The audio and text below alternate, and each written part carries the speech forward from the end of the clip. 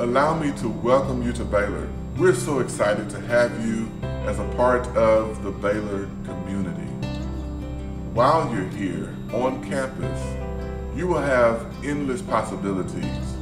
One of the possibilities for you as a Baylor student is obviously in the classroom. Now, at Baylor we have these things called progress reports. What the progress report is meant to do is to call the student to action. Because the earlier a progress report is submitted, the more time each student has to react and to make changes to study habits. And so I'm asking you, as an incoming student, to make sure that if you get a progress report from a professor, that you take action.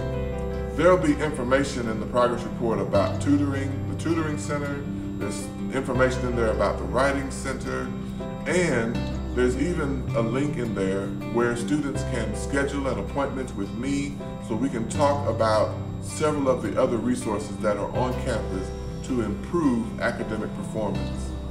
I want you to understand that there are so many people on this campus that are employed in order to make sure that you are an a successful student. And so, what I want to encourage you to do is to not only be excited, but to know what to do when a bump in the road comes along. Sic 'em Bears.